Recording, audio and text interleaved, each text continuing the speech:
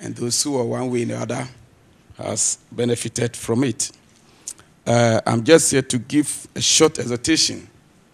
Uh, see what the Lord have done, what He will do, and what will reap from it. Amen. Yeah. So, in short, I would like to read from Psalm 126. Psalm 126.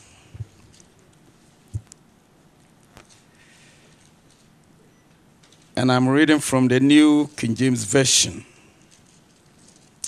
It says, When the Lord brought back the captivity of Zion, we were like those who dream. Then our mouth was filled with laughter, and our tongue with singing. Then they said among the nations, The Lord has done great things for them.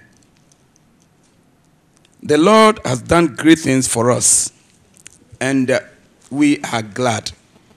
I didn't hear amen to that. Amen. Bring back our captivity, O Lord, as the streams in the south. Those who sow in tears shall reap in joy. He who continually goes forth weeping, bearing the seed for sowing, shall doubtless come again with rejoicing, bringing his sheaves with him. Amen. Amen. Yeah, this is, this is a song of ascent. Um, and then studying through, it begins with thanksgiving.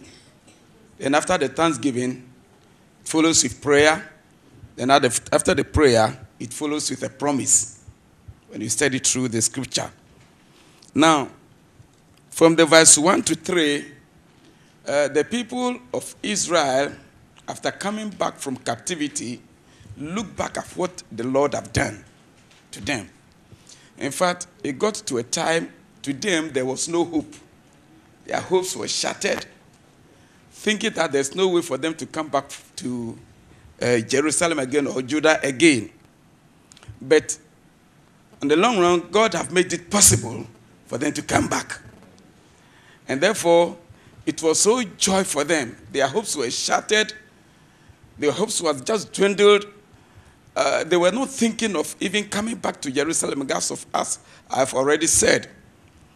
But God made it possible for them to come back. Hallelujah. Amen. I believe uh, when this uh, organization was being started, maybe got to a time when all, all hope was about to be lost. But today we believe that God has made this possible for us. Amen. To make this organization stand on its feet. And we believe that it's going to stand on its feet. And greater things will come out of it. Amen. Amen. Because the Lord is the foundation of this organization. So I'm here to tell to ask the Lord that we need funds to run this organization. And therefore we are praying that God should restore our fortunes. So that this organization can do great things. Amen. There are people out there who needs help. These street children, those who are working by those who are selling this are what just as he said, instead of them be in school, they would rather be on the street selling ice water. On the long run, even after selling this ice water, some even go and sleep hunger, with hunger. Why? Because the monies have been collected from them without any payment. And it touches the hearts when you see such things going on. So we pray that the Lord will restore the fortunes of this foundation so that the foundation will be financially equipped and whatever vision they have, they will be able to carry it out. To carry it out, we will be able to carry it out. Hallelujah. Then he says that those who sow in tears will reap in joy. Hallelujah. Amen. In fact, farmers have do have a hard time when it's time for them to sow. Why? They have to till the ground, uproot trees, find tractors to harrow the land for them. If you don't have money, you need to go in for a loan. All this, they go about it in anticipation that in the future they will reap something better. Hallelujah. So, beginning with sowing is not easy. The sowing is not easy. But as we sow, as we work hard, we believe that surely in the future we'll reap something. And that's what the psalmist was saying that as they sow, those who sow in tears, they shall reap in joy. Hallelujah. When the harvest comes, they will reap in joy. Now, I remember when I was in the village with my dad uh, in the early 50s when he was, you know, uh, clearing this forest to, you know, plant cocoa so that you have a cocoa plantation. And we'll be woke up, we woke up early as, early as 5, 4.30 a.m. Then we go to the farm, we'll be working out to maybe 6 o'clock, especially when it's on holidays, when school are holidays. And sometimes we'll be crying and say, oh, why is that they uh, uh, trouble and worriness like this? But now, if I go and I see the cocoa plantation, then I'm happy. Hallelujah. I see the cocoa plantation, I'm happy. And even when it is cocoa season, and I go and I see this cocoa, the cocoa uh, being dried on the shed, and I see it, then I say, really, we have done a great work, and it is time for the harvest. Hallelujah. In those times, we didn't enjoy it, but now my brothers and my sisters who are followed are now being taken to the university through that cocoa farm. But I didn't have that opportunity because we were starting it. Hallelujah. So we are hoping that in future, as we sow, this is the period of sowing. And the time is coming when we will reap. So we thank God for what the Lord has done for the five years. Our prayer is that the Lord will restore the fortunes of this organization. And as we sow, in future, we will reap in joy. God bless you for all the contributions that you have made, what you do, and what you continue to do to help this organization. God bless you all. Amen. Thank you very much, um, Reverend Emmanuel Lovete, for that wonderful message. Indeed, I believe that the one who gives will never lack.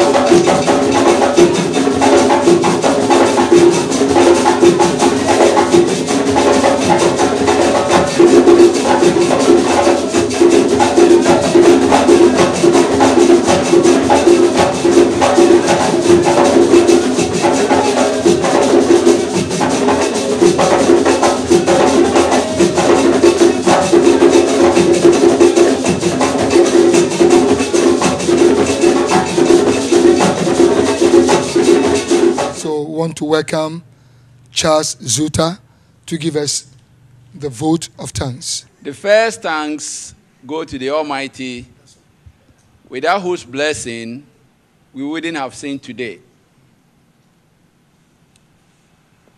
And the second to our honorable chairman and all the blessed men of God that are surrounded him and all the great men that we have here today, we say thank you. Those of you that are members of Action Plus, our invited guests, I don't know, but I only say, Blessed be the name of the Lord. Thank you all for your time. We know in Ghana, today is Saturday. And many, many would have been here, but I know as you do that funeral has taken many, many away. And if you, apart from all your busy shadows, you have been able to come here and spend this much hours with us here, we say, may God bless you. Tomorrow morning, if you hear the cock crow or the Muslims, the, uh, the liman shouting for dawn prayer. Action Plus is saying thank you very much. God bless all of you. Can we be on our feet?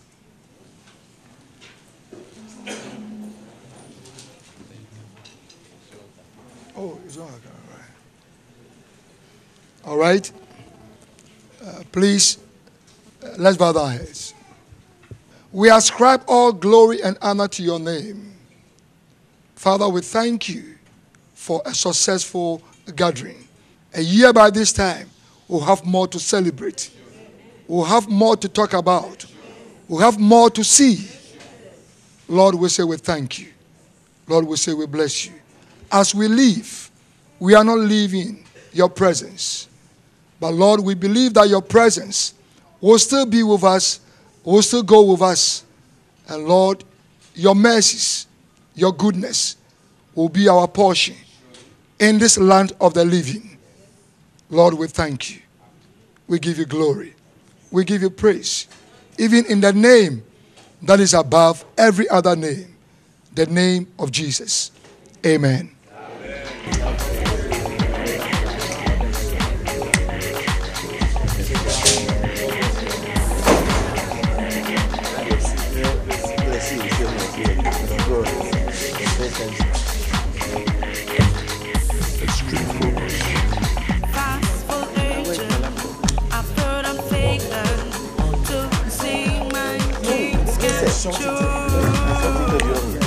Hello, please your name. My name is um, Roy Aboku from Energy International Ghana Limited. Um, we would like to know whether you are part of the Action Plus Foundation or you are a partner.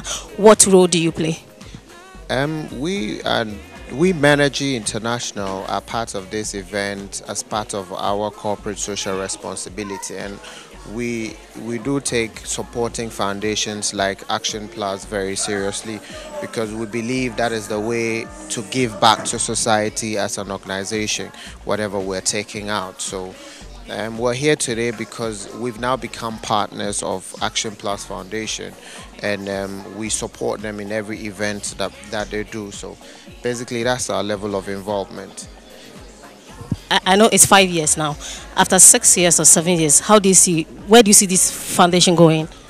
Um, I would say that uh, they have a very good vision because they are look their core aim is to alleviate poverty in this part of the world, and as you can see, they have put together quite a number of projects, and from um, Reverend speech, you'd realize that they've they've now they now have a piece of land which they are trying to put up a multi-purpose center to help train young people to help empower women, young I mean women who are single parents, women who would go a long way to support society. So I believe that in, in, in the next few years, this organization should be among the top ones that are in this in this part of the world and supporting um, people who are in, in, in the category of the needy. There are other foundations out there. Uh, why this particular one? Why do you choose to support Action, Action Plus Foundation? Okay, I, I mean, Menergy as an organization is founded on Christian principles. We believe that everything comes from the Lord, and we are over 20 years old, and we've not we've chalked numerous successes, and we believe that it is by the support of the Lord that we've come that far, and we realize that Action Plus Foundation is a Christian foundation you know apart from just being a charity they, they, it is founded based on christian principles and that is the basis on which we chose action plus yes as one of the organizations that we support He has made, he has proven himself. My God is on my side. He has made, he has we we started Action Plus Foundation five years now, and we have been able to create awareness on HIV. We have been able to support those who are living with HIV, and then we have been able to develop projects to challenge and break stigma. And there are many people living with HIV who are now openly, you know, coming up and then doing more uh, supportive work in the community. We also have um, a project that we are now organizing to support um, vulnerable women, and then we are going to empower them with skills that they'll be able to set up small businesses. So Action Plus is um, a non-governmental organization, but it's, a, it's, it's about, about Christian way of living, whereby we want to alleviate poverty and suffering from the community. Yes. You said earlier on that you were moved by passion, by what you saw, uh, see around the streets. You see women carrying babies at the back, and they're hustling on the streets, trying to sell to earn a living. Uh, there are other organizations out there doing the same thing. What difference are you making? What will be the difference between what other organizations are doing and what you are doing? Um, the, the uniqueness of our organization is having uh, uh, the nature of Christ in what we do. Uh, that, that, that's the main core. I mean, the passion of Christ when he was here, the way he demonstrated the love of God and had passionate, you know, for the suffering. That make a difference. Those others are doing very well on their own, but I see some uh, organizations as depending on them themselves. Yeah. But we don't depend on ourselves because it's a ministry, it's a calling which is accountable to God. Yes. So you depend on God. Uh, what is the, the vision for this foundation? What is the vision? Why Action Plus Foundation? Action Plus Foundation um, became Action Plus Foundation because um, when I came over to Ghana, as I was saying, in my mind I was coming to start a church. Yeah. But I came and saw that uh, church is not enough because we have a lot of churches around, and we don't want to come and duplicate anything, but to pioneer, so that the love of God that Jesus left for us to, to look for the vulnerable people to let their lives change is that which has also made us to have what we have.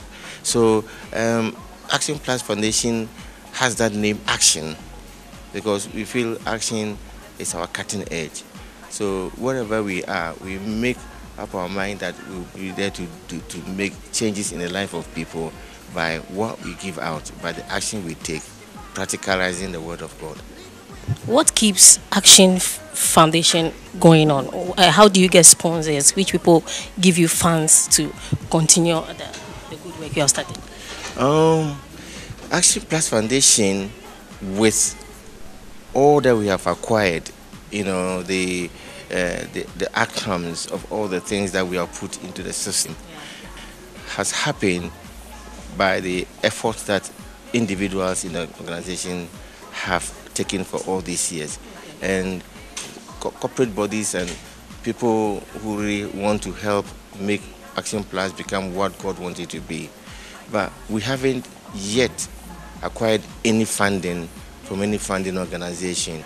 So, I mean, we we are moving forward, but that is our lack, really. There's no funding coming from anywhere, no major sponsor at all, not even in this country or even in the UK or anywhere in the world. We have to, you know, do all that we can to move forward, and so that is our uh, present need, really, to get major sponsors to come and sponsor the work we do. How do you see the foundation uh, growing after, let's say, after after six years or after seven years? It is five years, five years anniversary that you had today. So after six or seven years, how do you see this foundation going? People start and they can't continue. What would you do? Like I said, um, every vision that God gives you grows. God starts small and then it grows. So we, we, we could see the growth, the enlargement, and the increase coming every day. But we give ourselves time that within the five years of our you know, established existence, we'll be able to put some, I mean, practical things, statistics into, into its right perspective and grow by building a strong foundation.